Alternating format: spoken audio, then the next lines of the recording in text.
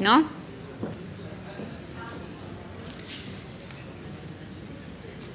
A partir d'aquestes imatges que veureu ara, anirem tractant temes... Tu vols una pregunta? Vols? Tens una pregunta.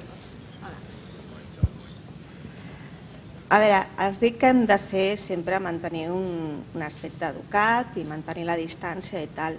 Nosaltres li podem traslladar si ens està faltant el respecte Sí. i ens estim. O sigui, Mhm. d'aquella manera jo t'estic tractant amb respecte i amb educació, et demano, li demano que em faci el, em, em tracti amb el mateix. Mhm, sí. Ho heu sentit? La pregunta és si diu que jo insisteixo en que s'ha de tractar amb respecte, amb aquesta professionalitat, amb aquesta neutralitat també, i si ells falten al respecte, els hi podem demanar que ens tractin amb respecte? Sí, és clar. Primera, ho hem de provocar amb la nostra actitud, perquè és millor aconseguir-ho amb la nostra actitud que no pas haver-ho de dir. Però si tot i així no ho aconseguim, perquè l'altre ve esbarat o perquè és la seva manera de ser o pel que sigui, doncs aleshores li podem dir. I, i aquest dir-ho també ha de ser amb aquesta fermesa, amb aquesta mateixa fermesa i sense alterar-te. És dir, mm, eh, jo a vostè el tractaré amb respecte, eh, sóc aquí per ajudar-lo o sóc aquí per el que sigui, que tu creguis convenient. Li demano que tinguem una conversa tranquil·la, sí, sí, això és important que ho feu i moltes vegades funciona, eh? més que no pas el posar-se a la defensiva. Eh, segurament l'última cosa que hauríeu de fer és posar-vos a la defensiva, perquè posar-se a la defensiva és una mostra de que no tenim un altre recurs per encarar-nos a la situació. I això en general a la vida, eh? no només a les entrevistes. Bé, comencem parlant de l'aspecte. de l'aspecte. Jo us he posat aquestes imatges però eh, perquè realment em resulta difícil sovint trobar imatges que expliquin ben bé el que vull dir. Eh, eh, I a més a més, clar, tot són imatges d'internet, no en tinc de vostres. Eh? Ja m'agradaria tenir-ne de vostres, fer un catàleg ara mateix de la indumentària de tots vosaltres i posar exemples, però no ho farem. Llavors, eh, potser per l'any que ve. Eh, mm, agafem imatges qualsevol i això ens serveix per il·lustrar el que us vull explicar.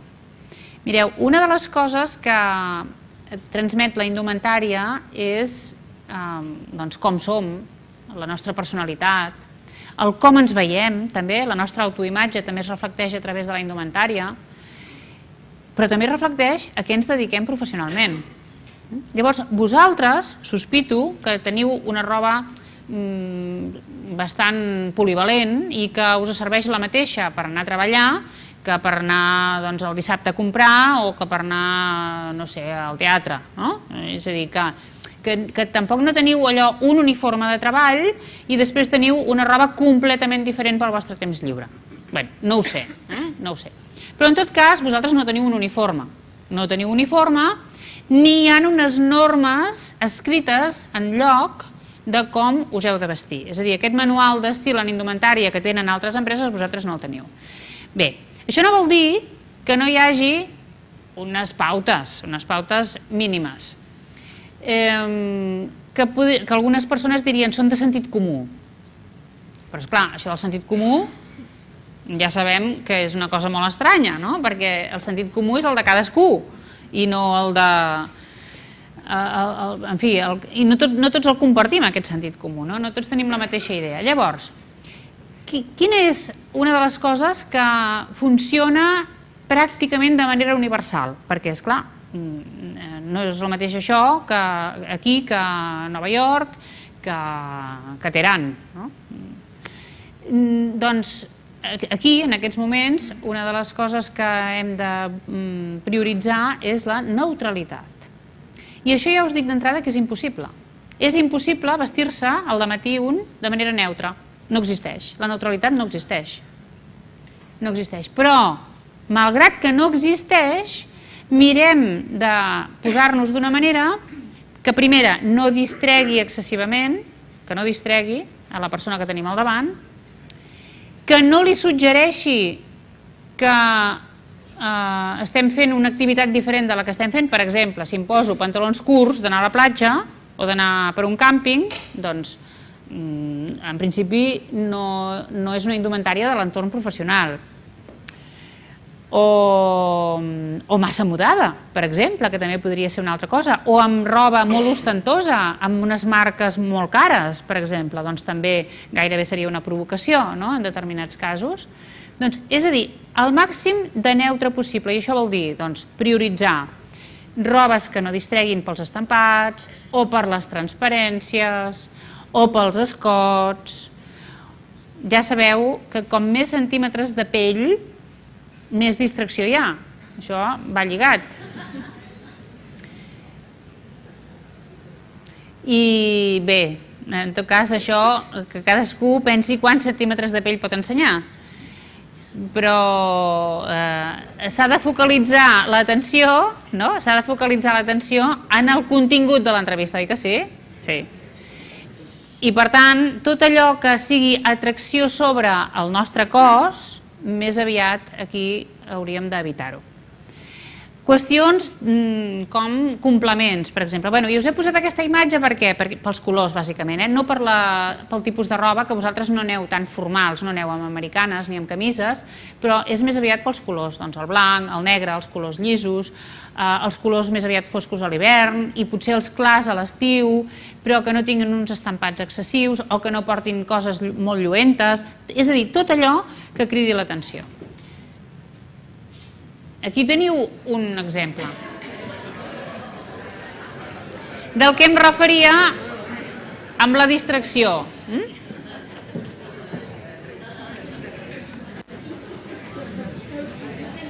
Que, que no és només els centímetres de pell, són els centímetres de pell, però també és, els complements, és el maquillatge... Bé.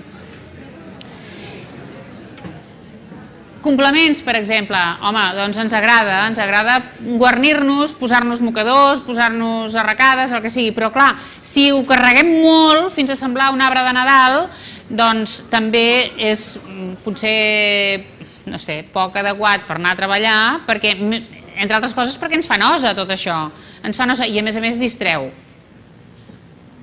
Aquesta deu ser venedora d'una botiga de bijuteria, eh? perquè s'ho ha posat tot a sobre. Bé, parlem també de la qüestió del donar la mà. Eh, aquí aquesta noia, per exemple, de, de la, la que porta el bolso, hm, que podria ser la vostra usuària, bueno, doncs ella eh, dona la mà així, però clar, què li passa? Com que porta la bossa penjant, no pot allargar bé la mà.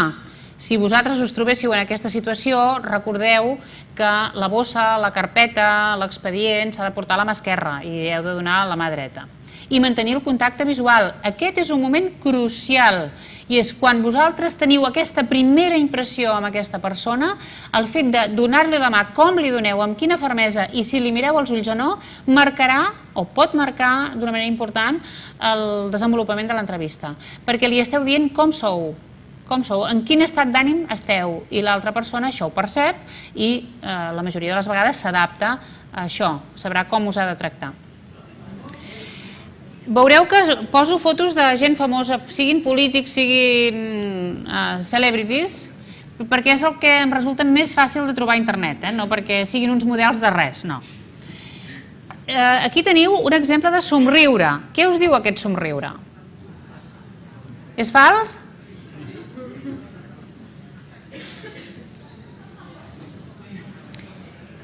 A veure.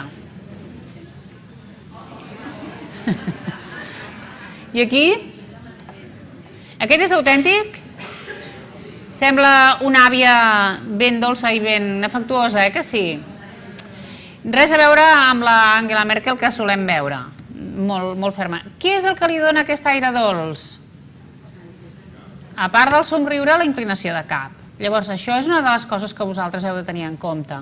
I és, quan voleu expressar fermesa, el cap ben recte. Això ho hem vist en l'última entrevista. La Sandra mantenia en la major part de l'entrevista aquesta, eh, aquest equilibri, aquesta simetria, aquest cap recte. I en canvi en l'anterior era ves com si que te acuerdas, eh? ¿Ves? i aquesta cosa dolça de la inclinació de cap i el somriure. Bé, doncs tot això ho podeu anar regulant, perquè del que es tracta és de que ho feu moltes vegades conscientment. Quan vosaltres vulgueu transmetre una imatge determinada, ho pugueu fer. Un altre, de les, eh, un altre dels senyals de la cordialitat i és el, el, com és el somriure, si és fals o autèntic. Aquí teniu dues fotografies de la mateixa persona, amb dos somriures. Em sabríeu dir quin us agrada més? El de la dreta. El de la dreta. I per què?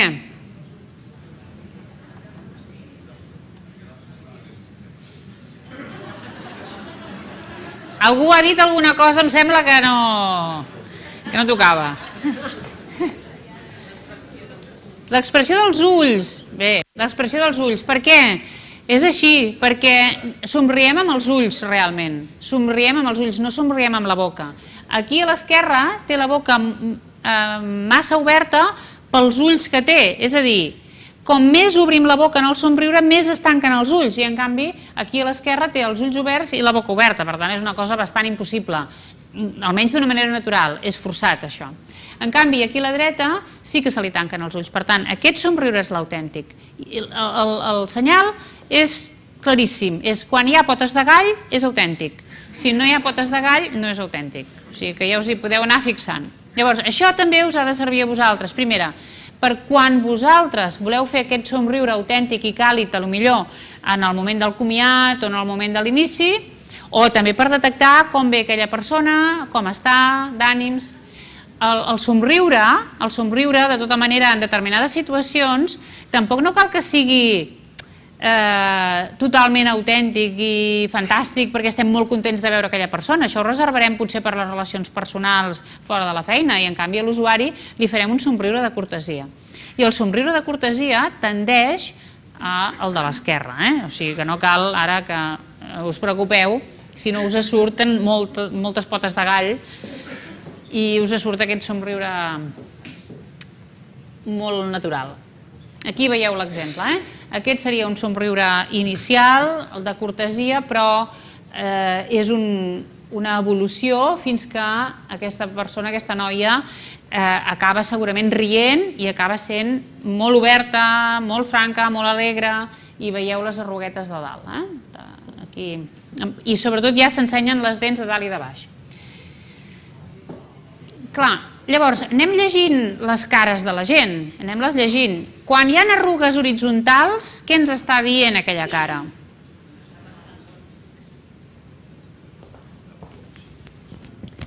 Això és molt típic del Guardiola, aquesta expressió, eh? us en recordeu? Quan el veiem en les rodes de premsa més sovint, i és barbeta cap avall i mirada cap amunt. Quan vosaltres veieu un usuari que està així, quina impressió us transmet? Preocupat o no estan així? És que després veurem altres posicions que també tenen la barbeta cap avall. Aquí ell no, no li té molt cap avall, però mira amunt i és quan les arrugues es fan horitzontalment són o bé de sorpresa, hm, però sempre són eh, no agressives les arrugues horitzontals. Sempre són voluntat de mirar, voluntat de relacionar-se, o bé de voluntat de comprensió, és obrir els ulls. El que passa és que si la barbeta és molt cap avall és sempre des de la prudència, des de la submissió fins i tot. I és, jo estic esperant que tu em diguis el què, el què he de fer. És aquesta la posició.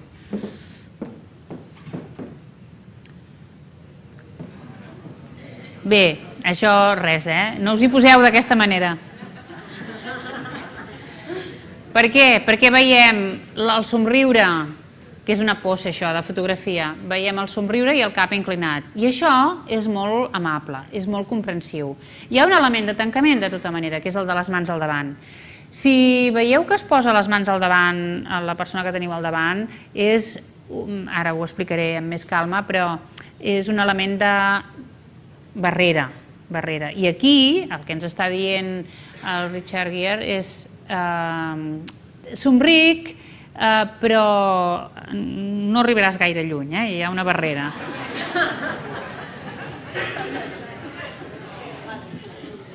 Bé, un dels grans mestres del somriure és l'Obama, eh? tot i que cada vegada em sembla que somriu menys, per broma, però eh, és, té un somriure fantàstic, en sap molt, en sap molt.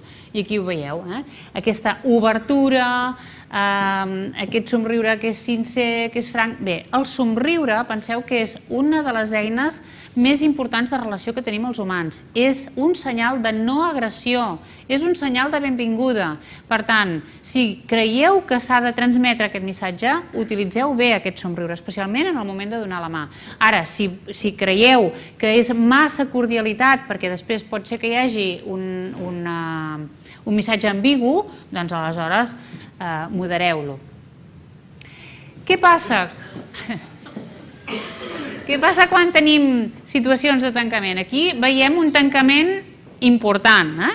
Veiem un triple tancament, que és, primer, aquest braç que creua per aquí davant dels genolls, l'altre que creua per davant i tanca el pit, ell, a més a més, amb el cos està també tancat, però a part hi ha la, els dits a davant de la boca. Imagineu que teniu algú davant posat en aquesta situació. Què penseu?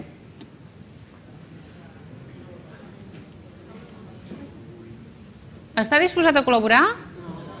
No està disposat a col·laborar, està amoïnat o enfadat. Aquí podem veure clarament la línia vertical d'aquí de l'entrecella hm?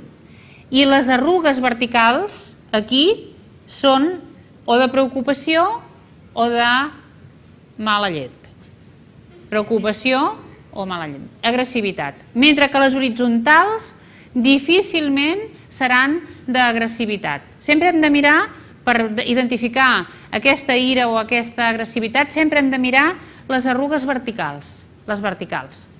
I el, la concentració dels ulls, també. Aquest, fer els ulls petits, fer els ulls petits al mateix temps que es fan les arrugues verticals aquí. Bé, què podem fer per per trencar aquest tancament? Què faríeu?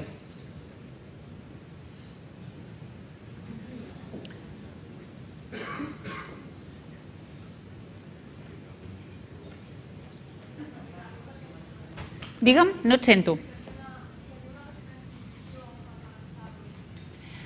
Bé, Eh, es podria dir doncs, el que sigui, eh? una introducció per la paraula, però el més útil, el més útil, si és que es pot, perquè hauríem de tenir-ho previst de vegades i no ho tenim, és fer-lo canviar de posició.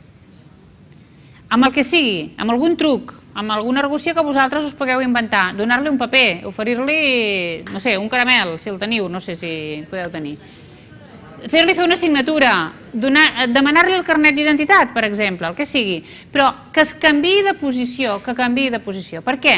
Doncs mireu, perquè hi ha un principi que funciona amb el tema del llenguatge no verbal i és que el nostre cos, igual que el nostre to de veu, reflecteix el nostre estat d'ànim.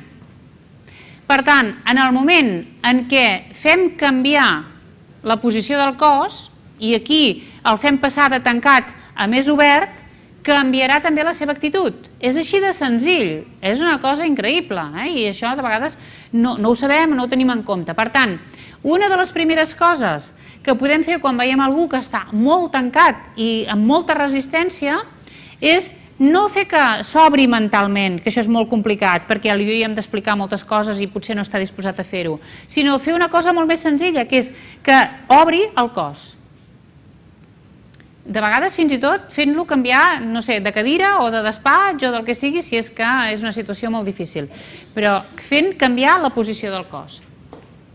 Llavors, en aquest senyor, tal com està aquí, eh, una de les coses que podria fer jo és anar a seure al seu costat, Aquí, vosaltres potser no ho podeu fer, eh? però jo podria anar a seure al seu costat i segurament el que faria és tirar-se enrere, per tant ja s'obriria una mica. O donar-li algun, alguna cosa, un paper, o tirar-li una pilota, per exemple, aquí en aquest context. Tirar-li una pilota i s'obriria segur. Bé, una altra qüestió a tenir en compte és els, els tipus de gestos. Quins gestos ens indiquen aquesta agressivitat o aquest tancament? Doncs tots els gestos que siguin tancats i un d'ells és el puny. Aquí la teniu en una altra versió, menys amable que la que hem vist abans, i està parlant i està fent així amb el puny. Això és d'autoritat. és de fermesa. Si veieu algú que està amb els punys així, és que està reprimint-se bastant alguna cosa, està acumulant tensió, però no la vol deixar anar. De moment se l'està reprimint. I més encara si té els polses amagats dintre del puny. Molt important que ho observeu, això. Què passa? Si els té amagats dintre del puny, en principi no està en disposició d'atacar encara. Atacar. Encara no. Encara no, perquè això vol dir reprimir, reprimir. És, mm, eh, soc jo que estic tensa, soc jo que estic nerviosa, però tampoc no vull traslladar-ho cap en fora. En canvi, en el moment que surten els polses, aquí hi ha eh, un... A veure, depèn també de la resta del cos, eh? de si es tira endavant, del to de veu, de la mirada, però si els, els dits surten de dintre, llavors ja es pot pagar el cop de puny, vosaltres heu, heu vist mai algú que doni un cop de puny amb el dit a dintre? No, perquè es faria mal. Per tant, el cop de puny ve, sigui sobre la taula o sigui algú, ve quan el dit és en fora.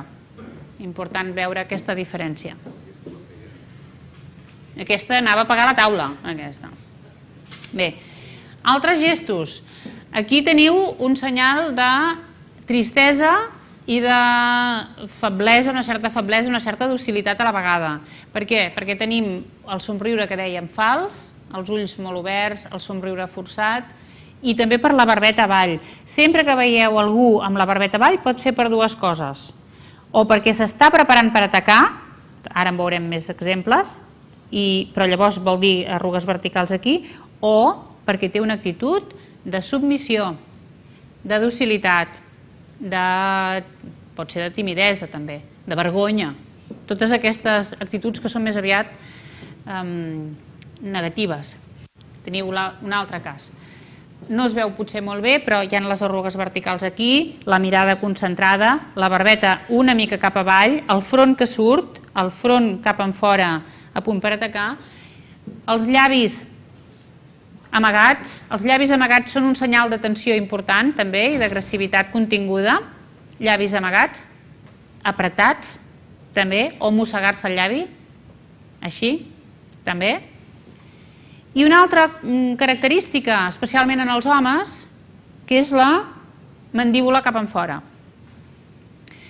Quan algú us està parlant, o vosaltres li esteu parlant i ho va assimilant i va traient la mandíbula, veieu que fa així, que avança la mandíbula, eh, és possible que estigui també eh, acumulant una reacció que pot arribar a ser violenta. Aquí teniu tres imatges que s'assemblen. En totes tres ho vam estar pensant, sembla, no? o està escoltant. En quina està escoltant amb més atenció?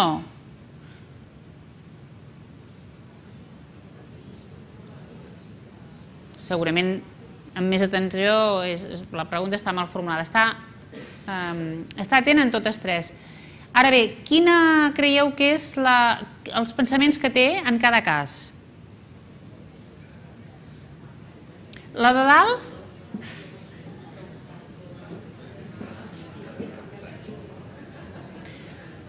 La de dalt, mireu quina diferència hi ha. L'índex cap aquí, cap al pols, i això és reflexió. reflexió. I a més a més, no hi ha unes arrugues verticals molt marcades i no es tapa la boca. I en canvi, fixeu-vos aquí. Tot el puny tancant la boca ens està dient, a més a més per les arrugues, ens està dient no m'agrada gens això que estàs dient i segurament voldria dir coses però no les pot dir, se les ha de callar, llavors es posa la mà a la boca. Per tant, quan veieu algú que té la mà a la boca, i això també us serveix a vosaltres per no fer-ho quan us toqui, algú eh, pot ser perquè no li agrada el que està sentint i no li pot tapar la boca de l'altre, o eh, perquè voldria dir alguna cosa que s'està reprimint. Per tant, eh, molt indicatiu això.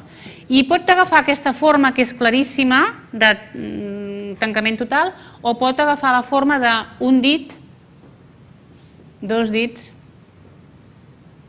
o anar fent gestos de... Mm, hi ha gent que parla i es va tapant la boca, també. Eh? I això pot, podria ser un indici de que no està segur d'allò que està dient.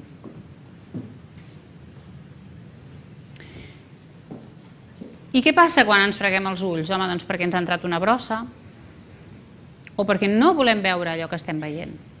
No ens volem creure allò que ens estan mostrant, allò que ens estan dient. Eh, també passa el mateix quan ens toquem les orelles. Es veu que quan tenim picor a les orelles de vegades és perquè no ens agrada allò que estem sentint. Mm? Això, mm, tot això és el que diuen els experts, els hem de fer cas, i sembla que en el cas dels ulls és molt clar. Quan ens comencem a fregar, en el, en el cas de les dones, perquè això s'ha de tenir en compte, els homes es freguen, i es freguen bé, no? però les dones, que de vegades anem maquillades o som més fines, llavors fem així, nosaltres. Per tant, seria el mateix gest, només que en versió femenina, o amb el, amb el dit petit, per exemple. Aquí teniu un cas clar d'aquesta ira continguda, per exemple. No? Aquest senyor eh, està a punt, està a punt de dir-te alguna cosa o de, de donar-te un cop de puny. I veiem els elements. Eh? La mandíbula cap endavant, eh, la arruga vertical i aquesta mirada concentrada, però sobretot aquesta part frontal també a punt per atacar. La barbeta cap endintre i el front cap en fora. Què us diria, si fos un usuari vostre, que podria ser-ho? podria ser-ho? Uh, què us diria aquesta actitud?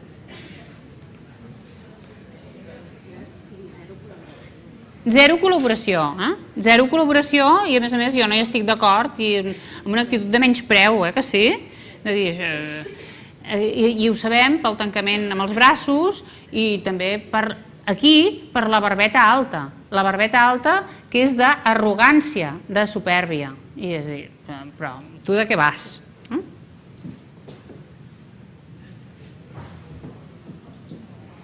Oh!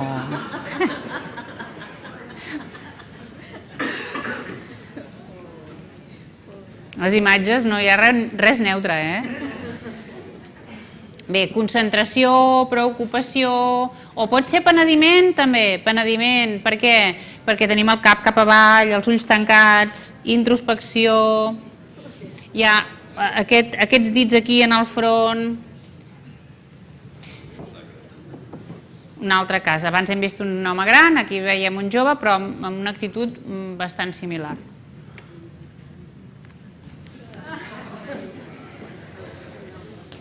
Barbeta cap amunt, veieu la diferència entre barbeta cap avall i barbeta cap amunt? Doncs tots aquests senyals vosaltres els rebeu eh, intuïtivament, vosaltres ja sabeu quina actitud té cada persona que teniu al davant. El que passa és que poder desxifrar tot això d'una manera més racional també ens dona més eines després per poder actuar.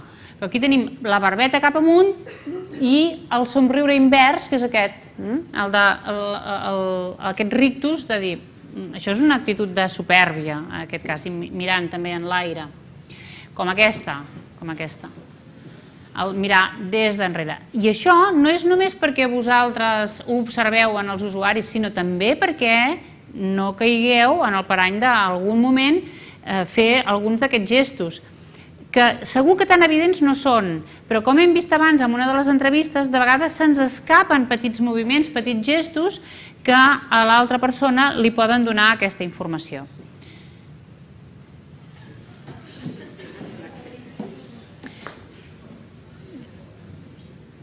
Què us diu aquesta? Fàstic? Fàstic, menys preu, oi? Aquesta supèrbia també. Els llavis, el llavi, aquest llavi cap amunt, sigui en un costat, sigui tot, i el nas arronsat cap amunt, juntament amb aquesta zona dels ulls és una sensació de no m'agrada gens això que estic veient, i fàstic o menys preu. Bé, he de dir que a Mourinho a mi em dona molt de joc, eh? perquè només qualsevol expressió que vulgui la trobo, poso Mourinho a Google i em surt. Doncs aquí, mm, potser més exagerat encara, però amb aquest eh, mm, de costat. Bé, aquí teniu un gest que és de contradicció entre una cosa positiva que fa amb els polses, però amb la cara ho nega completament i per tant és un gest d'ironia. Aquesta és una expressió d'incredulitat i de negar una cosa que està dient l'altre. I això potser també us hi podeu trobar. I és vosaltres esteu parlant i l'altre va fent. Pues tot això que dius és mentida, o tu què m'has de dir a mi, o... Bé, doncs, eh, després aquí la, la vostra tasca, diríem, és no deixar-vos emportar per aquestes expressions que fa l'altre, que les pot fer molt voluntàriament o li poden sortir espontàniament, però el no deixar-nos contaminar. Eh, l'efecte mirall en el llenguatge no verbal és importantíssim. És molt fàcil que ens encomanin actituds, és molt fàcil. Per tant, és eh, primordial pels professionals de la comunicació que sapiguem controlar els nostres gestos i no cedir a aquest efecte mirall. Qualsevol d'aquestes expressions ens podria contaminar a nosaltres. Nosaltres eh, hem de mantenir la neutralitat. Aquí teniu un altre cas d'aquesta mirada, a més a més, de, de Fixeu-vos com pot arribar a ser de plàstic a la cara, eh? De, de, de, de, de quins, quins gestos podem arribar a fer. L'Armstrong. Bé, la qüestió de l'estar drets o asseguts. Ho vam veure l'any passat, però us ho recordo.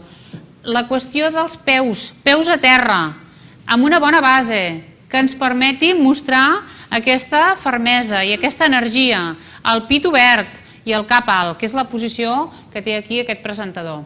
I ella té els peus junts.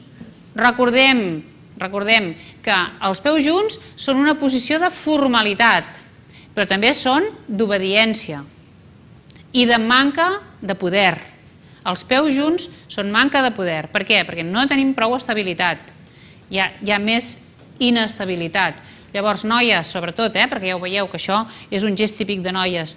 Noies, quan vulgueu transmetre aquesta fermesa i aquesta autoritat, deixeu els peus un pèl separats, perquè us donarà molta més força.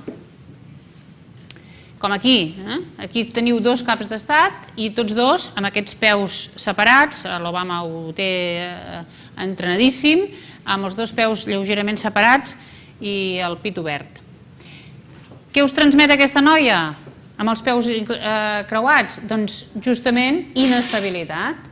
Pot ser una posició de coqueteria, si voleu, però és més aviat timidesa, és eh, prudència o tancament i sobretot, sobretot, no té equilibri. No té equilibri. Per tant, molt ferma no pot ser.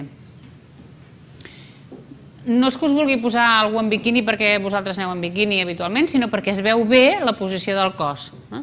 I és el moviment de la pelvis. El moviment de la pelvis, recordeu que el fem les dones per captar l'atenció sobre aquesta zona. Per tant, si vosaltres aneu caminant cap al despatx, cap a la sala on heu de fer la reunió, i feu molts moviments de pelvis, i va algú al darrere, doncs bé, mm, eh, això també ho afavoreixen les sabates que porteu, clar, com que ja no porteu sabates amb talons gaire alts, em sembla, doncs també també eh, evites bastant, però el, el taló molt alt el que fa justament és que movem aquesta zona. Mm? Però no només això, eh? no és només la pelvis aquí, és també la posició del cap, aquest cap així, amb la mirada des de baix, eh, i, els, i els braços oberts, què fan els braços oberts? Els braços amb la part interior oberta cap en fora són braços seductors. No és el mateix estar així i, i eh, parlar així o relacionar-te així que relacionar-te així amb els altres. Eh? O, o també així, si els posem cap amunt i mostrem aquesta part interior. No?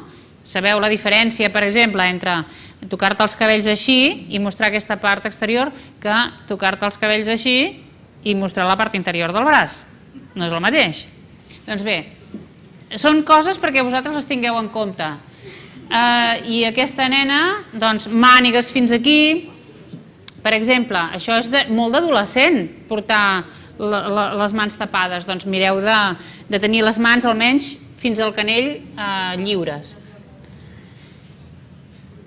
Posicions com aquesta doncs, eh, són poc adequades, poc professionals, perquè dèiem això del desplaçament de pelvis, però a més a més perquè també tenim una cama que està mostrant la part interior i això és una actitud també de seducció. De seducció, en aquest cas, en concret, sexual. Tampoc no ens interessa mostrar actituds com aquesta, de manca de fermesa també en els peus. Tenim una cama que ja va cap endavant, amb el genoll, que intenta eh, marxar, és provisional això, el tancament amb, la bossa, aquesta mà penjant i sobretot aquesta carona així, mm, de um, submissió, de, de vergonya i timidesa. Aquesta és més formal, per la verticalitat ja veieu, com que és vertical i simètrica dona una imatge més professional i més seriosa i més formal. Però al mateix temps és una formalitat obedient, perquè té aquests peus junts. Aquest és el gest típic de tancament, que no sempre vol dir tancament, eh? també pot ser comoditat en alguns casos, hauríem d'analitzar-ho en el conjunt, però és, és un gest típic eh, sobretot d'homes i aquest és el de dones perquè hi ha moltes dones que creuen els braços així, perquè saben que així eh, doncs, eh, no sé, no és tan correcte, perquè ens ho han dit molt, això de tancar els braços, però també perquè en alguns casos, quan fem així, algunes marquen més la part del pit i per tant eviten fer el, el creuament de braços així. Llavors què fan? Fan així. És un creuament igual, és la mateixa protecció, la mateixa barrera, però més dissimulada. Doncs aquest és un gest que vosaltres podeu observar també en la persona que teniu al davant. Bé, la qüestió de assegut, abans ho hem vist claríssimament en una entrevista, eh, la, la delegada estava mal asseguda, estava molt inclinada així perquè tenia la cadira separada i en canvi la correcta és la posició del 4, aquesta, la posició del 4, i, i tirada cap endavant, cap a la taula. Aquesta és una posició que també deveu trobar sovint, no? Com la llegiu, aquesta posició? De comoditat o què hi veieu?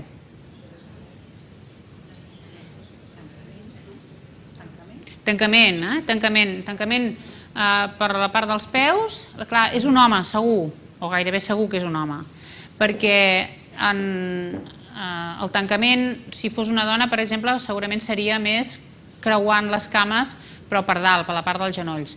I en canvi en els homes, com que obren els genolls, doncs el tancament es fa pels peus. I també de mm, poca col·laboració, eh? perquè hi ha una certa apatia aquí. I a més a més, la protecció per la part de, amb les mans, per la zona dels genitals. I si s'us posen així, què dieu? Hi ha algú que es posi així? No és habitual, no? Per què? Perquè aquest és un, aquesta és una posició també de poder, d'ocupar volum. Penseu que tot allò que sigui ocupar espai, sigui amb els braços, posant així, per exemple, eh, amb els peus, posant així, és una posició de poder, de superioritat, i en canvi tot el que sigui reduir volum és més aviat de voler passar desapercebut i de submissió. Doncs aquesta posició, que és molt americana per altra banda, és més aviat d'ocupar poder i per tant és jo estic aquí mm, sense cap problema no? i llavors um, no és normal, no, no seria normal que en una entrevista amb, amb vosaltres estiguessin posats així. Analitzem aquesta analitzem aquesta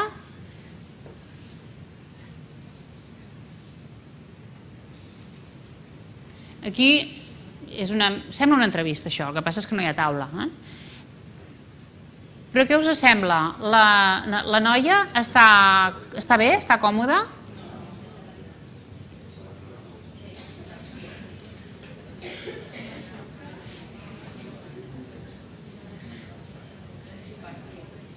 Ell és invasiu. Ell ho fa bé, ell segurament cada vegada es tirarà més endavant per convèncer-la amb ella just tot el contrari del que ha de fer, si la vol convèncer. Per què? Doncs perquè ell eh, va cap endavant i ella veiem que té un peu que se li envaia, per marxar, per fugir, però un només, un. Després, perquè està no mirant-lo frontalment, sinó que està de costat. té el cap endarrere, és a dir, hi ha tota una sèrie de senyals que ens diuen que ella vol marxar, que està incòmoda. I ell, en lloc de tranquil·litzar-la tirant-se cap enrere, el que fa és anar més endavant, de tal manera que ella cada vegada se sent més envaïda. Doncs bé, això és un exemple de com nosaltres, a través del llenguatge corporal, primer observant a l'altre i després adaptant nosaltres al nostre, podem influir sobre els altres. De coses similars a aquestes en teniu més eh, en el manual descrites, sobretot que fan referència lògicament al moment de l'entrevista, i eh, el, que, el que serà més útil de tot serà que vosaltres us aneu observant a vosaltres mateixos i que aneu prenent nota també de situacions eh, de les estàndard o de les més eh, excepcionals que trobeu i, i ens les feu arribar també. Per tancar, eh, us volia dir que aquest manual eh, és, com dèiem, un punt de partida i que ha de servir sobretot per donar un, una, una eina per vosaltres perquè tingueu en el vostre dia a dia o perquè el consulteu quan us convingui eh, sobre un tema determinat. Ha de donar també cohesió a tot l'equip que formeu vosaltres, perquè quan un sap que hi ha unes referències o que hi ha un marc d'actuació, doncs això fa que també tothom el comparteixi i abans una de les coses que s'ha dit eh, de la resiliència és que eh, sentir el suport dels companys era important, doncs això també pot contribuir a aquesta sensació d'estar tots en la mateixa direcció. I una altra de les coses que fa un manual és que un sent que té eh, aquesta eina mm, que mai no li havien donat. És a dir, eh, tots vosaltres us sabeu comunicar, tots sabeu parlar, tots sabeu fer entrevistes, però fins ara cadascú ho ha fet seguint la seva, la seva intuïció, eh, segons els seus coneixements i n'ha anat aprenent la majoria de les vegades tot sol. Doncs bé, aquest manual ve a ser un, una eina que tots pugueu compartir i que eh, us dongui una certa seguretat en allò que feu. També abans en la resiliència s'ha parlat d'això, no? s'ha parlat de, de vegades no sé si seré capaç de fer determinada cosa. Doncs bé, aquí com a mínim teniu un, una, un model, un estàndard per seguir en les situacions eh, quotidianes les més habituals. I ara em sembla que deixo pas al senyor Marc Saron i eh, doncs agrair-vos que hagueu vingut, la vostra participació i que tingueu molt bona feina a partir d'ara. Gràcies.